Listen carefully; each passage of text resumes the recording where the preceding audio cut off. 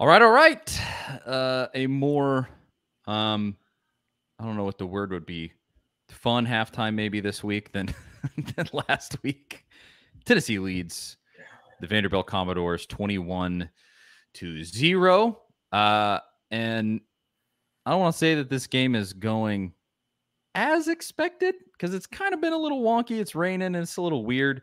But I would put it this way: it's Vandy. You should be up twenty-one uh, to zero. But I'm Charlie Burris. Yeah. That is former Vols quarterback Jonathan Crompton back with us for another week.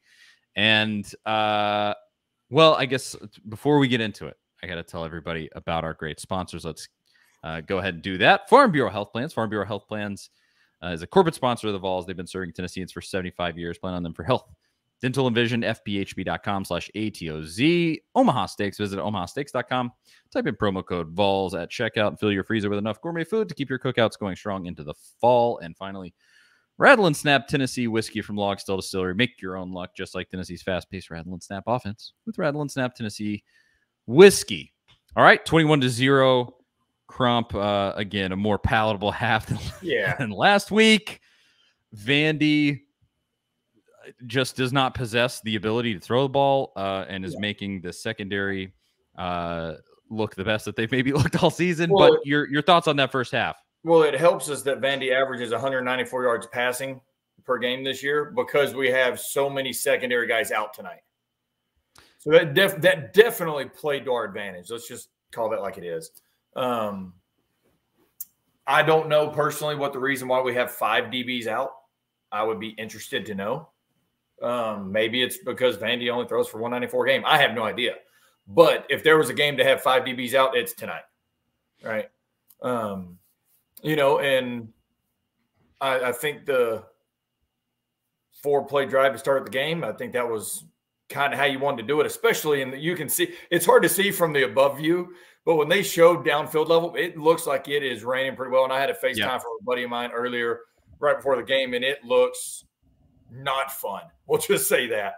Um, so to throw the ball as effectively as we have so far, I'm not upset at it. Yeah, I would like a few throws back, but 56% uh, percent completion percentage with a couple actual throwaways though. Like legitimately, I'm throwing the ball out of bounds here, so I, I I'm not upset.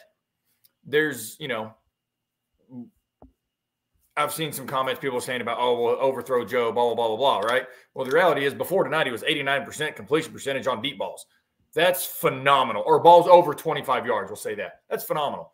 Rain game, we're down Tillman, we're down Bruce. So the only really deep threat that we have is Hyatt. He's getting gassed. So it's kind of a, Oh, it's, it's, kind of a it's kind of the perfect storm for it to be a, a lesser deep ball game but I like the fact that we're still taking the shots.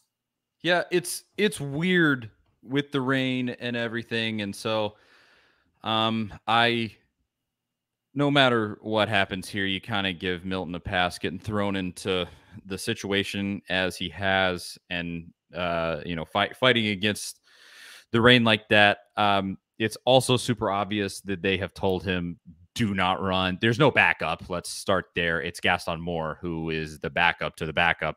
So he's the backup to the backup to the backup on this team. Uh, and so I think they've been like absolutely do not run. He had an opportunity that that throw where he launched it at Squirrel White at 10,000 miles an hour right into Squirrel White's chest and at from 5 yards away. Um, that was a situation where I think Milton probably would have run and he didn't. And it really makes me think that Heupel has kind of gone like, don't, don't even well, and, try, especially, especially with the weather. You know what I'm saying? Yeah, like it's it's just one of those games. It just feels weird. I mean, like you said, I'm using the word like you said about being weird. There's no Bru. There's no Tillman. Five DBs are down. It's Ugh. raining. It's a night game at Vanderbilt. Like it just it just feels awkward. Yes. And we're, but the thing is, the positive is we're doing what we're supposed to do. I mean, we're still throwing for 133 yards. We've rushed for 67, right? We're, we're on pace for a pretty decent offensive ball game for the weather. They have 96 yards of total offense. So, you know, it's still shaping up to be a pretty good game so far.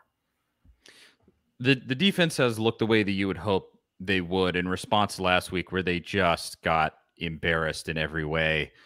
Um, Turns out South Carolina has gotten something figured out because they beat Clemson today. Uh, I don't know who saw that coming, but um, it wasn't me. I, did, I didn't see it coming after the way it started. I did not. Yeah, Going I thought they were going to get buried. I was like, I text, I text my dad and, his, and our buddies and was like, "Yeah, well, South Carolina's back to South Carolina," you know. And then me and my wife went and ran some errands. I looked at the score and I was like, "Hey, babe, babe." She looked at me. I was like, "Come here, hurry!" And I flipped my phone, like flipped around. I was like, "South Carolina's up thirty-one to thirty. What?" Like just out of the blue because I stopped keeping up with it. When Rattler threw that pick six right at the beginning of the game, I was about to vomit. Like I was just like, "Of course." that kid plays the greatest game of his career and is going to come out here and throw up the biggest stinker yeah. of his life against Clemson today. he ended up not. Thing. As soon as I saw it, I was like, "Well, all right." I shot yeah. the text. Hey, babe, let's go it, run some errands. We'll be back. Answer. You know? um, yeah. No, it was bad. Um, but but you know, I, I'm I'm glad Clemson's not in the playoff. Yes. Um, oh, thank you, South Carolina and and Ohio, Ohio, State too. I, I can't help but notice that Big Ten Jeff is inconspicuously absent tonight. He's well, not the, in the, the chat. Sad part is, if LSU loses, Ohio State's still going to get in the playoff. Yeah, they're hanging around. I mean, it's it's not a short thing that they're out, but man, that's a that's a bad bad it, loss. so I know we got a lot of stuff to talk about, obviously, but I'm going to throw this sure. out there, and I would like I would like to talk about this post game. So I just want everybody to kind of think on. Yeah, we can tease I've it. Seen, I've seen it during the week. This is not what anybody wants to happen on this show. I'm going to preference it this way. Nobody on the show, especially me, is wants this to happen. But it's already started. Clemson's lost. Ohio State and, and or Michigan had to lose. But the way Ohio State lost with a 22 point home loss, keep that keep that in mind. Home 22 point loss. Okay. Doesn't matter what TCU does. If USC stumbles tonight, I know they were they're up at half tonight or next week, and if LSU loses, um, Bama might be in the playoff.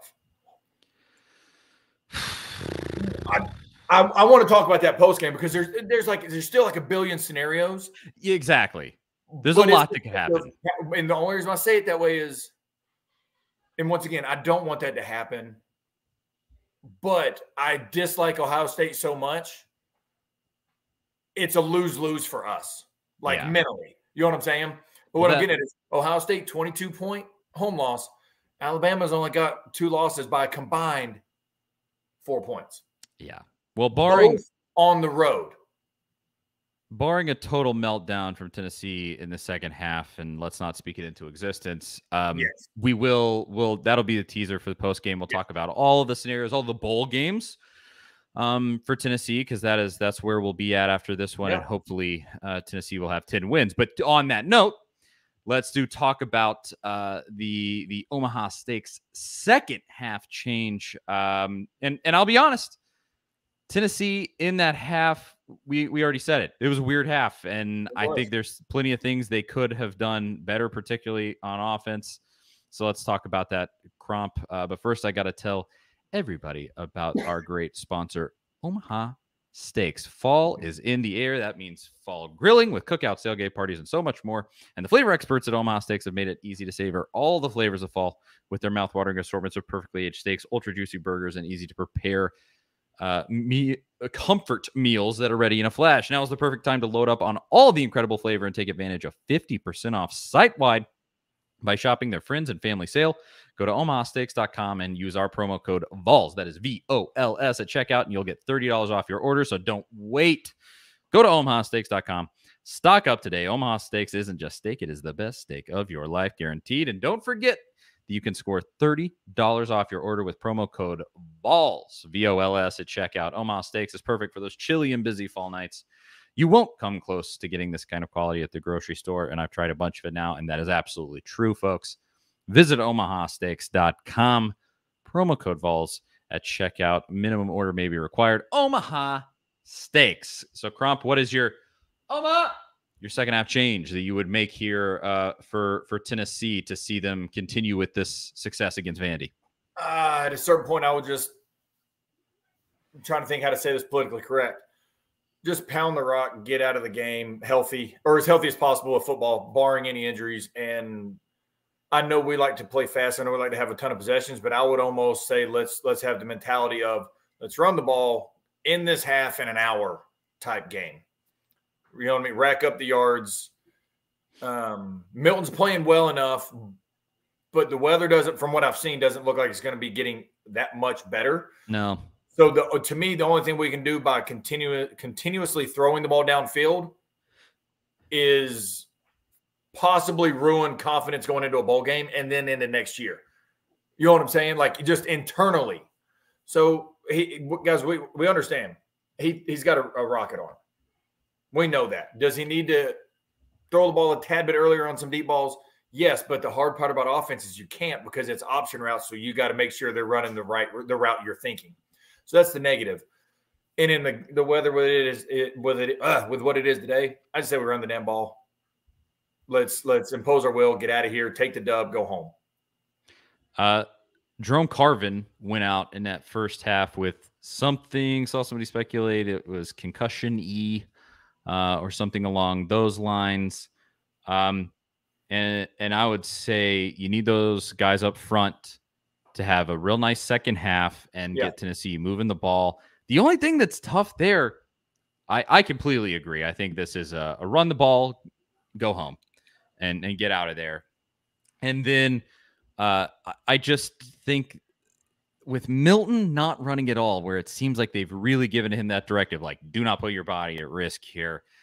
That is tough because that's such a giant element taken away. And he's also gained a lot of confidence running the ball. And I want to see him run the ball because it almost feels like it's like, when are we actually going to get to see this kid actually open it up?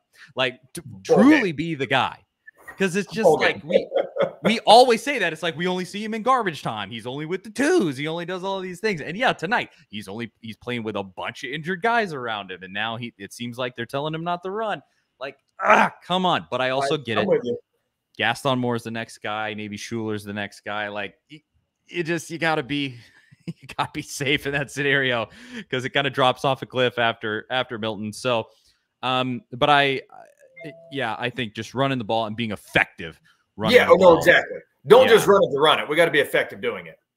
Yes, exactly. I mean, it, it has to get get creative, do something. I I like they attempted an end around to Squirrel White. So you know, just give the ball to Fant in the backfield. I don't care. Um, just oh, speaking of tailback, he lines up. Sure. No, he lined up his tailback on the goal line. Yeah. See that?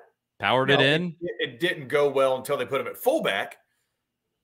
But still, I mean, that's I'm not mad. I'm not mad at the creativity at all. Yeah, I uh, I don't mind it. It, it was nice to see just different. it's something different, you know. Yeah, well, there, and I hate to say it, and Vandy fans, I'm sorry, but tonight's the night to, to try it. Yeah, well, get get your lead. We've got our lead. Now we need to we need to obviously extend the lead, but get the lead early, like we did in the four play drive to start right? Defense kind of do what you got to do to get off the field. Let's get a special teams touchdown. That's nice too, right? Now's the time to try a few wrinkles to see what we can do with some young dudes. Yeah. See if they can see where they can play at other positions. I'm not, like I said, I'm not mad at giving Fant a goal line um, tailback, but I, I, think we need a different formation with a, maybe a little more beef with a fullback as well. I know we had a wing position, but I would say like an actual fullback. That's that's a different conversation tonight's the night to do that. Hmm.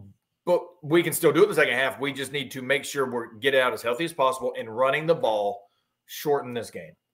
Yes, exactly.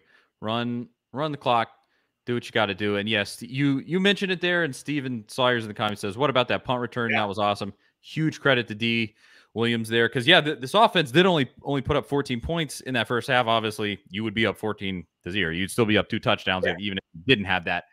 But I, hey, that was incredible. It kind of has felt all season long like that. That was a real possibility, and he finally delivered. That was great to see. Um, so I I don't care where it comes from.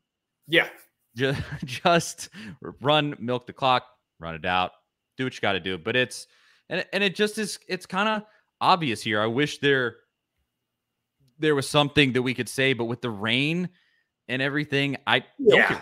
don't do that. No, no, I would. And if it was a Ohio State Michigan type weather night where it was perfect, yeah, And I would say, hey man, sorry O line, sorry running backs, we need to air this thing out and we need to throw the ball 50 times in the second half. It's just not feeling like that night because the weather, too many variables. Man, let's just run it, get it, get out of here, and and, and take our dub. Absolutely. Hopefully they can. 21 to 0. Everybody, I don't I don't know if people in the comments, everybody that's at my house, what just happened? That well, that everybody was cheering about. I'm still on here. What A&M just made a touchdown. A&M scored a touchdown, so the leading. And also see you. We'll see. I'm still on here though, so you got it. All right, I mean, my mom, she was here. I got you. and so But- I was gonna, there was a there was a comment. Um, oh no, Brent. I mean, I I, I said it last week. I, you're 100 percent right. Didn't realize how much Jeremy Banks means to the defense. Yeah. I said it last week, and I had to I had to eat my words of saying, you know, he's not a great linebacker. Blah blah blah. Emotionally, he means more than I ever thought to this defense. And Yeah. showing it. We got five DBs out, and they've only thrown for 21 yards. They've thrown for 21 yards tonight. He's he's a real just energy guy. It's it's huge. He it seems like he kind of changes the mentality of that unit. and He And does. and I you know, He if does. they got into a spat or whatever might have happened, who cares?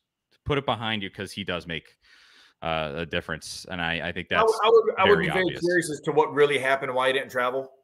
Um, I would, I honestly, none of us are really ever going to know. You know what I'm saying? They're not just going to straight up say it, but I would be curious because it clearly wasn't due to an injury. yeah, no. You know, but I, I don't know. We can we can speculate. You know, What- but we what see we how we see how speculation works. Look at Lane Kiffin contract to Auburn. Dude put his foot in his mouth, right?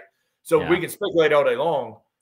I just really, I really want to know. I do. What we surmised was that a, a shouting match or something did happen, but it wasn't that.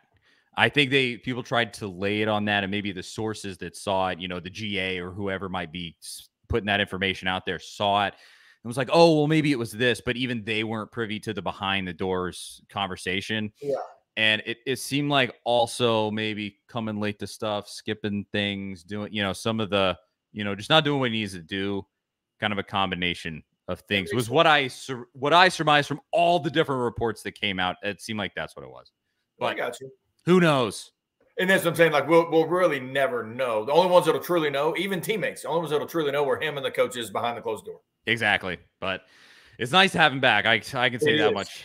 With with how much Vandy is running the ball, he is excellent in that that position. I mean, he's all over the field, flying all over the place constantly. Uh, he he kind of frees up the play for for some of those edges um, because they, in some sense, they don't have to cover as much. you know, he, he's Yeah. more. They trust him more back there.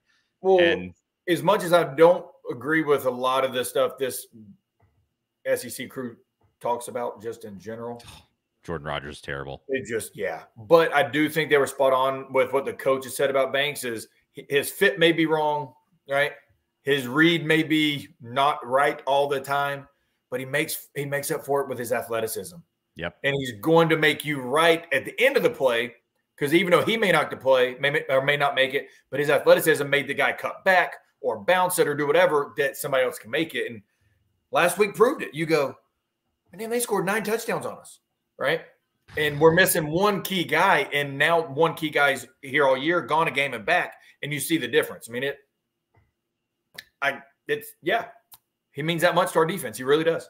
The results speak for themselves, but I, I think Yeah. the second half's probably we're, about to we're- start. We're about to start, but I saw some comments. We're going to get into after Yes. the game, hopefully, hopefully, all the random random scenarios that we can think of. we we should know again, barring a meltdown from Tennessee, which Yeah. hopefully you know we're we're not talking about anything but a win after this. But Yep. Texas A&M potentially beating LSU on the horizon, the outcome of that USC game, like things could shake up right in front of Tennessee in the rankings. So we'll talk about it all in that Yep. post game. Charlie Burris, former Vols quarterback Jonathan Crompton. We'll be right back wherever you are watching this after the game. Come back, hang out with us, and we'll talk to y'all then.